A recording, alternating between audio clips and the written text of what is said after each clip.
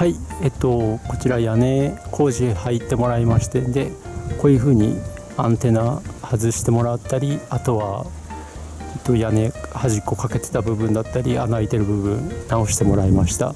でアンテナなんですけれども、えっと、こっちですね。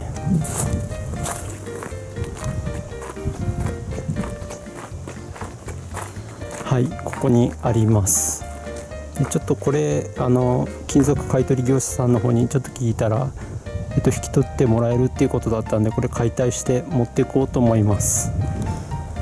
で多分ここですね。これ外せば取り外せると思います。でここもここ外せば大丈夫そうですね。で棒の部分に関しても多分これで固定されてるんですね。でここは多分ここの部分ですよね。ここの部分外してここ外せば多分車に乗ると思いますんでそれで持っていこうと思います。はい。で次屋根かけてるところですね。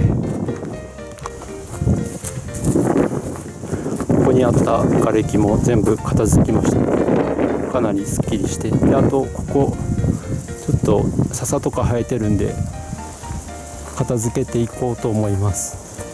はい。だいぶすっきりして。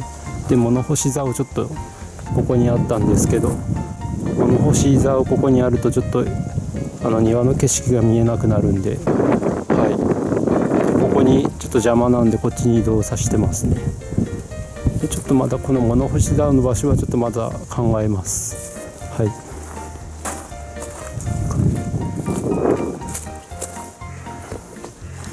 でえっ、と瓦かけてた場所。こっちですね。はい。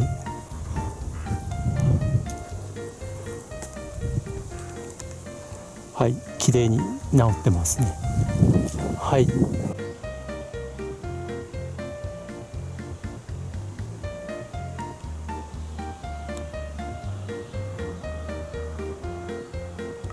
で次あの穴開いてた場所ですね。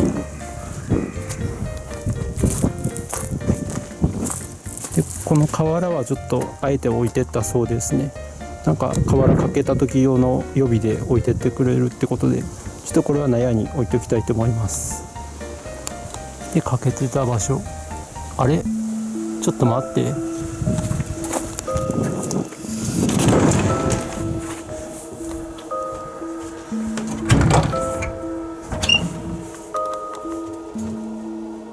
れまだ空いてる。